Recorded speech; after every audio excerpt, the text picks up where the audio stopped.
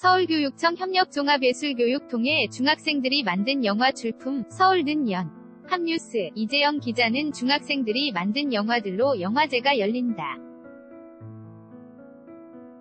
서울시 교육청은 9일 오후 중구 충무아트센터에서 제1회 교복 입은 예술가 영화제를 연다고 이날 밝혔다. 이번 영화제에 출품되는 14개 작품은 광남 남대문 도봉대원국제 반포 서울여자 신남 영등포 휘문중학교 학생들이 협력종합예술교육을 통해 만든 것들이다.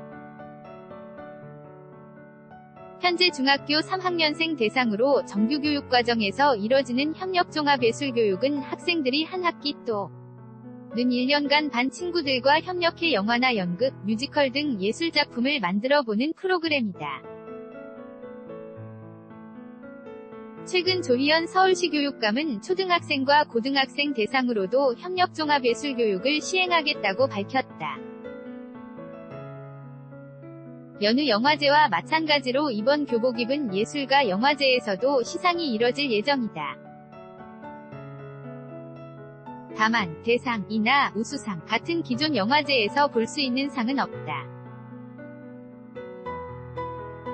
대신 형식이 자유로운 작품에는 내 멋대로 해라 상, 무서운 장면 연출이 뛰어난 자.